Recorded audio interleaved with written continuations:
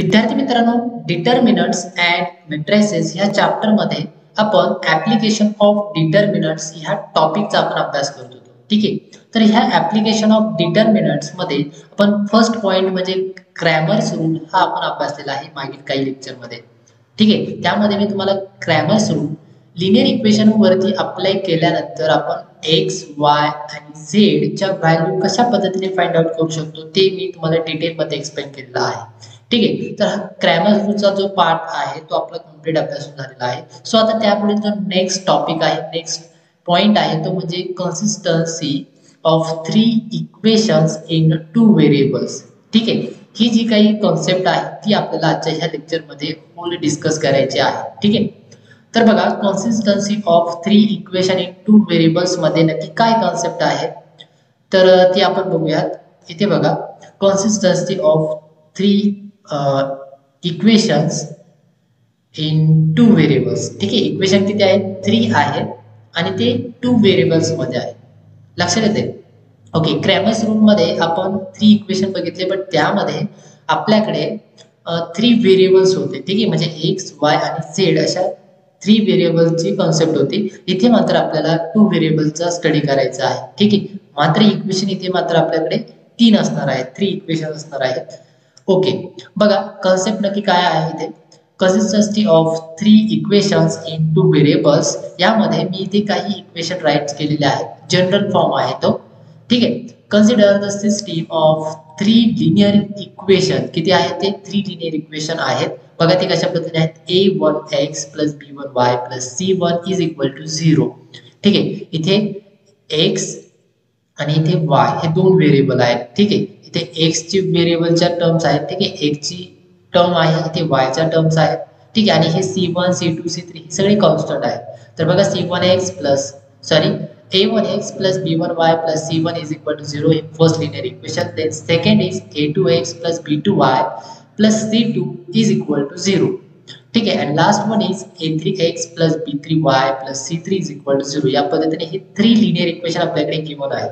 लक्षात येते आता बघा हे जर थ्री लिनियर इक्वेशन या पद्धतीने आपल्याकडे गिवन असतील ठीक आहे तर हे लिनियर इक्वेशन कन्सिस्टन्सी मध्ये कधी असणार आहेत किंवा कन्सिस्टंट कधी असणार आहे तर त्यावेळेस कधी?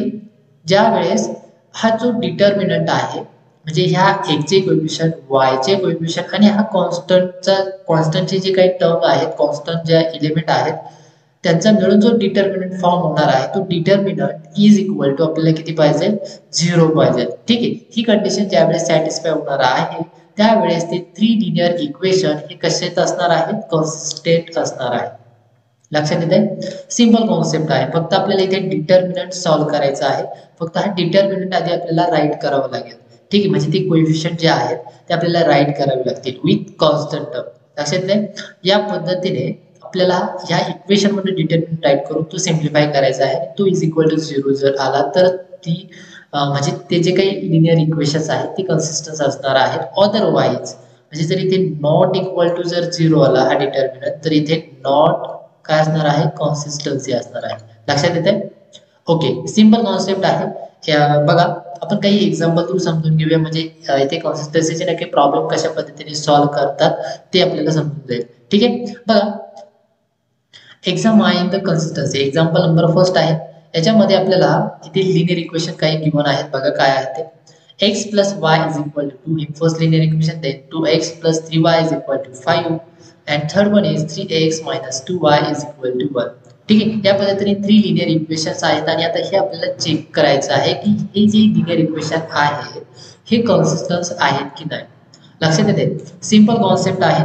इथे फक्त आपल्याला काय करायचं आहे की या इक्वेशन वरनं एक डिटर्मिनंट फॉर्म करायचं आहे.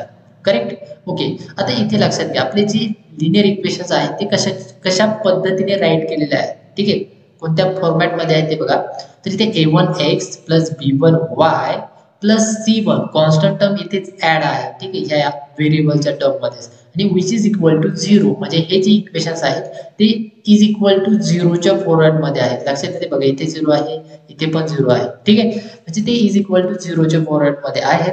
मग आता आपल्याला इथे काय करावं लागेल? इथे जे गिवन इक्वेशन आहेत एक्झाम्पलमध्ये तिथे बघा इज इक्वल टू झिरोच्या फॉरवर्डमध्ये हे इक्वेशन नाही ठीक आहे? मग ते आपल्याला फर्स्ट ऑफ ऑल ते कन्वर्ट करून घ्यावे लागते इज इक्वल टू झिरोच्या मध्ये. ठीक आहे? आणि ही प्रोसेस एकदम सिंपल आहे फक्त इथे जो टू आहे तो इकडे मला लेफ्टला आणावं लागेल. बरोबर? इथे फाईव्ह आहे तो मला लेफ्ट साईडला आणावं लागेल. इकडे वन आहे तो मला लेफ्ट साईडला आणावं लागेल. लक्षात येते आणि इकडे राईटला मला is equal to zero zero zero या पद्धतीने टर्म्स भेटते करेक्ट बघा मी ते सोल्युशन सिम्प्लिफाय करतो. कशा पद्धतीने आपल्याला ते राईट करता येईल किंवा ते सिम्प्लिफाय करता येईल? ठीक आहे आपण चेक करूया कसं आहे की नाही. तर ठीक आहे फर्स्ट ऑफ ऑल आधी आपल्याला ते इक्वेशन राईट करावे लागतील. सो सोल्युशनमध्ये बघा. मी इक्वेशन आधी राईट करतो. ठीक आहे? X plus y minus two which is equal to zero ठीक आहे? Then next two x plus three y minus five is equal to zero third one is three x minus two by minus one is equal to zero आपण काय केलेलं आहे? फक्त इथे जी constant term आहे ते आपण लेफ्टला आणलेलं आहे. लक्षात येते ओके आता हे झाले आपले लिनियर इक्वेशन ह्या फॉर्मॅटमध्ये ओके आता याचा आपल्याला फॉर्म करायचा आहे डिटर्मिनंट आपण डिटर्मिनंट फॉर्म करूया. ठीक आहे? ते डिटर्मिनंट राईट करतो मी बघा. आपल्याला डिटर्मिनंट राईट करताना काय करायचं आहे जे कोएफिशियंट जे आहेत एक्स आणि वायचे ते आपल्याला ठीक आहे आणि मी एक्सचे कोएफिशियंट राईट करतो. इथे एक्सचा कोएफिशियंट वन आहे. लक्षात येते? इथे फर्स्टला ओके वन देन इथे टू आहे आणि इथे थ्री आहे. टू आणि इथे थ्री ठीक आहे वायचे कोएफिशियंट राईट करूया.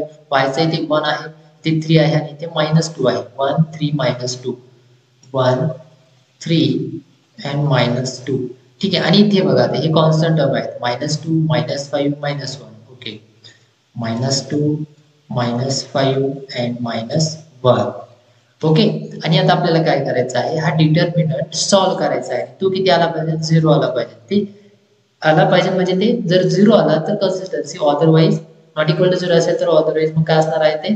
नॉट कन्सिस्टंट ठीक आहे? या पद्धतीने. ओके आता आपण चेक करूया इथे. विच इज इक्वल टू किंवा इम्प्लाइज आता इथे काय? वन वनच्या respective row add column add केल्यानंतर रिमेनिंग फोर इलेव्हनचा क्रॉस मल्टिप्लाय करायचा आहे. ठीक आहे? वन आणि ते three into minus one minus three त्यानंतर आपल्या इथे मायनस आता हे काय minus two into minus five minus minus plus two into five ten okay त्यानंतर इथे वन आहे म्हणजे इथे मायनस वन वनच्या रेस्पेक्टिव्ह रो कॉलम ऍड केल्यानंतर two into minus one minus two three into five minus fifteen भेटेल ते. Minus minus plus होईल फिफ्टीन ओके आणि last is a minus two ठीक आहे मायनस टू आहे. इथे मायनस टू इन ब्रॅकेट इथे बघा टूच्या रेस्पेक्टिव्ह रो कॉलम ऍड तर इथे आपल्याला क्रॉस मल्टिप्लाय करायला two into minus two minus four minus three into three nine okay आणि आता इथे किती भेटेल बघा?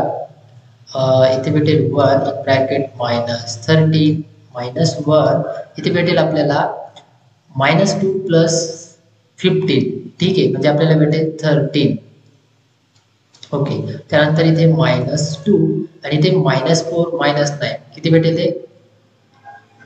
किती भेटेल बोला? Minus four nine thirteen thirteen okay हे मायनस आणि आता याला पुन्हा कॅल्क्युलेट करू इथे बघा मायनस थर्टीन इथे मायनस अगेन थर्टीन आणि इथे मायनस मायनस प्लस इथे किती भेटेल आपल्याला? मायनस सॉरी हा ओके मायनस मायनस प्लस आणि इथे ट्वेंटी सिक्स ठीक आहे? थर्टी टूचा ट्वेंटी सिक्स आता इथे बघा. हे किती? Minus minus minus thirty minus thirty म्हणजे minus twenty six plus twenty six बघा दोन्ही सेम आहेत. फक्त त्याचे साईन ऑपोजिट आहेत. म्हणजे इज इक्वल टू झिरो भेटेल आपल्याला ठीक आहे? म्हणजेच आपण इथे काय राईट करणार आहोत? देअर फोर देअर फोर इथे काय राईट करा? There four given equations given equations are in consistent. Okay consistent. लक्षात येते आपल्याला डिटर्मिनंट काय भेटतात? झिरो भेटतात. म्हणजे आपली जे इक्वेशन आहेत ते कसे असणार आहेत? कन्सिस्टंट असतात. लक्षात येते? एकदम सिंपल एक्झाम्पल आहे. फक्त आपल्याला डिटर्मिनंट जो आहे तो सिम्प्लिफाय करायचा आहे. लक्षात येते बघा या पद्धतीने कन्सिस्टन्सी कॉन्सेप्ट आहे ठीक आहे? नेक्स्ट एक्झाम्पल बघूया. हे होतं आपलं एक्झाम्पल नंबर फर्स्ट आता आपण जाऊया एक्झाम्पल सेकंडमध्ये. ठीक आहे? एक्झाम्पल सेकंड कशा पद्धतीने आहे ते बघूयात आपण. बघा. Example second find the value of k ठीक आहे? इथे आता के ची व्हॅल्यू फाइंड आउट करायची आहे. Okay if the following equation are consistent आणि इक्वेशन काय दिले बघा seven x minus k y is equal to four then second is two x plus five y is equal to nine and third one is two x plus y is equal to eight ठीक आहे? या टाईपमध्ये आपल्याला three given equation आहेत आणि आता आपल्याला हे सिम्प्लिफाय करायचे आहे ठीक आहे? कन्सिस्टन्सी कॉन्सेप्ट आहे इथे आपल्याला के ची व्हॅल्यू फाइंड आउट करायची आहे. इथे काय आहे पण if the following equation are consistent ठीक आहे. आता इथे ऑलरेडी मेन्शन केलेलं आहे की हे जे इक्वेशन आहेत फॉलोइंग इक्वेशन हे कसे आहेत? कन्सिस्टंटमध्ये आहेत. म्हणजे याचा जो डिटर्मिनंट आहे तो इज इक्वल टू झिरो आहे. देन आपल्याला काय व्हॅल्यू फाइंड करायची आहे? तर टी ची व्हॅल्यू फाइंड आउट करायची आहे. लक्षात येते सिंपल प्रॉब्लेम आहे हा पण. बघा पुन्हा आपल्याला काय राईट करावं लागेल? ह्या इक्वेशन वरनं डिटर्मिनंट राईट करावं लागेल. करेक्ट ठीक आहे. मग तो आपण राईट करूया. बघा सोल्युशनमध्ये. आपल्याकडे इक्वेशन काय आहे? Seven x minus ky is equal to 4 then 2x plus 5y is equal to 9 and third one is 2x plus y is equal to 8 okay आता यामध्ये डिटर्मिनंट काय भेटेल? बघा मी डिटर्मिनंट इथे राईट करतो. ओके हे अजून एक कशा पद्धतीने राईट करते? आपला जो फॉर्म आहे बघा इथे आपला जो फॉर्म होता कशाचा? कन्सिस्टन्सीचा जे लिनियर इक्वेशन आहे त्याचा फॉर्म कसा आहे? A one x plus b one y plus c one ठीक आहे इथे constant which is equal to zero मग आता आपल्या सेकंड एक्झाम्पलमध्ये इज इक्वल टू झिरोच्या मध्ये इक्वेशन आहेत. बरोबर? इथे बघा सगळे फोर नाईन ए इकडे राईट साईडला आहे ते आपण काय करू तिकडे ट्रान्सफर करू लेफ्टला म्हणजे आपल्याला इक्वेशन काय भेटते? Seven x minus k y minus four which is equal to zero then two x plus five y minus 9 is equal to 0 and finally 2x plus y minus 8 which is equal to 0 ठीक हे? झाले आपले three linear equation equation first second and third ठीक आहे नेहमी द्यायची तशी काही गरज नाहीये ठीक आहे आपण डिटर्मिनंट राईट करूया आता मग डिटर्मिनंट राईट केल्यानंतर काय भेटेल बघा ओके इथे राईट करतो ठीक आहे first entry seven then minus one बरोबर इथे minus sorry minus k minus k and minus four minus k minus four okay त्यानंतर two five minus nine two five minus nine त्यानंतर two one minus eight two one and minus eight ठीक आहे, या पद्धतीने आपल्याला हा determinant भेटणार आहे. एकदा चेक करून घेऊया सगळे एलिमेंट आले seven two two 722 minus k51 minus k51 minus 4 minus 9 minus 8 minus 4 minus 9 minus 8 okay which is equal to काय असणार आहे? कन्सिस्टन्सी लक्षात येते कारण इथे गिवनमध्ये आपण काय राईट करणार? गिवन इक्वेशन आर कॉन्सिस्टंट ठीक आहे. त्यावरून आपण हे राईट केलेलं आहे. ओके आता हा डिटर्मिनंट आपण सिम्प्लिफाय करूया.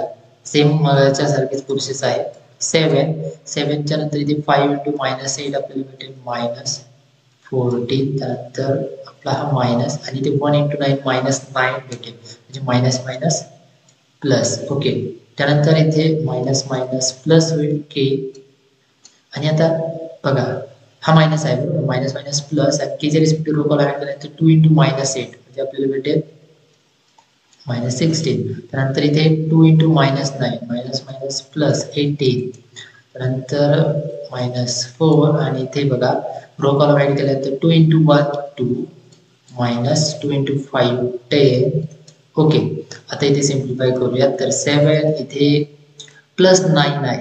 ठीक आहे. म्हणजे इथे मायनस थर्टी वन भेटेल. Correct thirty one plus nine minus forty लक्षात येते ओके सबट्रॅक्शन म्हणजे ते minus thirty one then plus k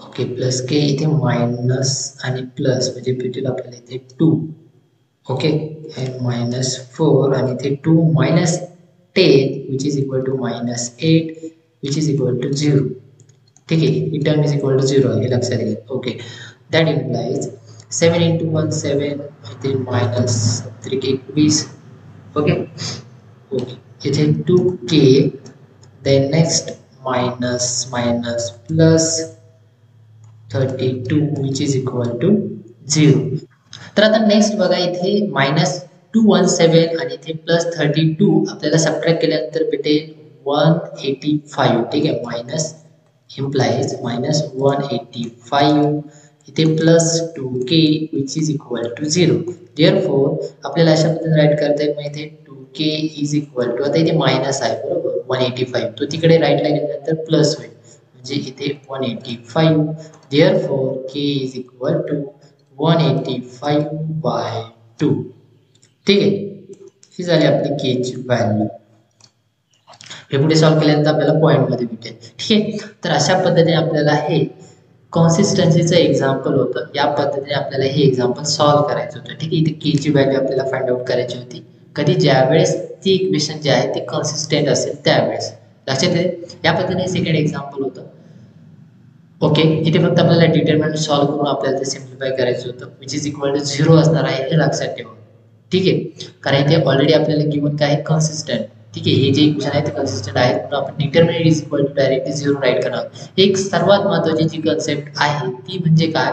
हे जे लिनियर इक्वेशन आहेत ती इज इक्वल टू झिरोच्या फॉर्मॅटमध्येच आहेत की नाही हे चेक करून घ्या. ठीक आहे? जर ते नसतील म्हणजे इथे बघा इज इक्वल टू झिरोच्या फॉर्मॅटमध्ये तर ते झिरोच्या फॉर्मॅटमध्ये करून घ्या. त्यानंतर या इक्वेशनवरनं याचं डिटर्मिनंट फाइंड आउट करा. ठीक आहे? म्हणजे या फॉर्मॅटमध्ये राईट करा. लक्षात येते इथे जर ही प्रोसेस जर तुम्ही केली नाही तर तुमचे जे एक्झाम्पल्स आहेत ते रॉंग होणार आहे. ठीक आहे? ओके ही व्यवस्थित कन्सेप्ट लक्षात ठेवा.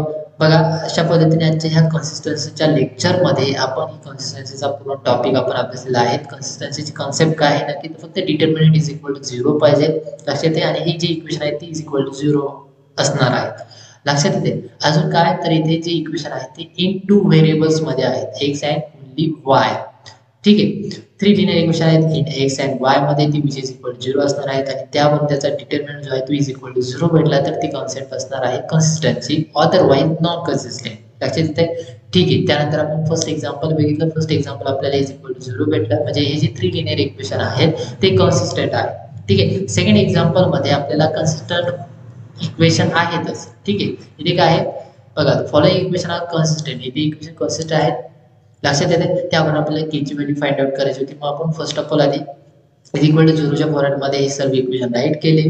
डिटर्मिनंट सॉल्व्ह केला आणि त्यानंतर मग आपल्याला इथे केची व्हॅल्यू भेटली one eighty five upon two ठीक आहे? अशा पद्धतीने सिंपल एक्झाम्पल आहेत कन्सिस्टंट वरचे. हा टॉपिक व्यवस्थित करून ठेवा. म्हणजे ह्या टॉपिकचे आउट ऑफ मार्क्स तुम्हाला भेटून जातील. ठीक आहे? तर अशा पद्धतीने आजच्या या व्हिडिओ लेक्चरमध्ये बस इतकंच. विद्यार्थी मित्रांनो हा व्हिडिओ जर तुम्हाला आवडला असेल तर नक्की लाईक करा शेअर करा या चॅनलवरती जर नवीन असाल तर चॅनलला जरूर सबस्क्राईब करा. तर भेटूया नेक्स्ट लेक्चरमध्ये धन्यवाद.